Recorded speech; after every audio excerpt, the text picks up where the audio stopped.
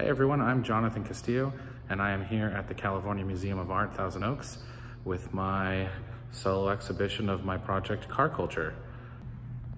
So I wanted to uh, give you guys a little tour quickly, show you what's what's here, and uh, we're not currently open due to COVID, um, but we should be opening soon.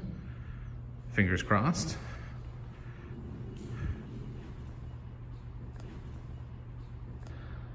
So while I'm here at the museum, I wanted to talk a little bit about this project and you know some some things that have kind of come to mind while I while I've been looking at this work hung on the wall like this for the first time.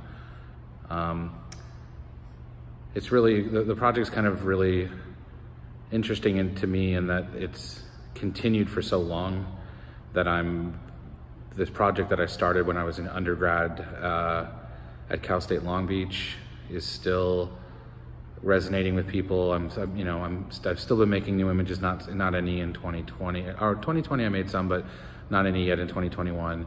So the project's been gone, ongoing for about 10 years, and uh, you know, I, the more I look at this work, and the, the, the larger it grows, I I have a kind of deeper appreciation for how the work is as much a portrait of the city as it is portraits of the people in the cars, and uh, it just becomes a bit of a time capsule for what the culture is like, what's going on.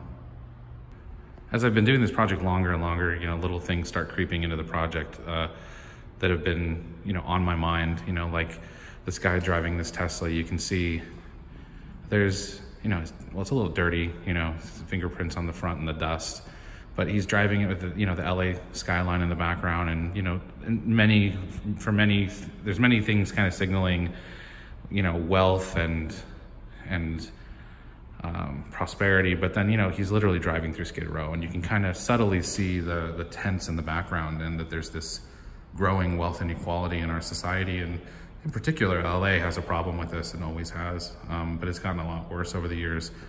And as I've been continued to make this work on the streets, you know, things like that start creeping in, or like in the background here, you can see a little Uber sticker, you know? Like when I first started this project, there was no one doing, doing Uber.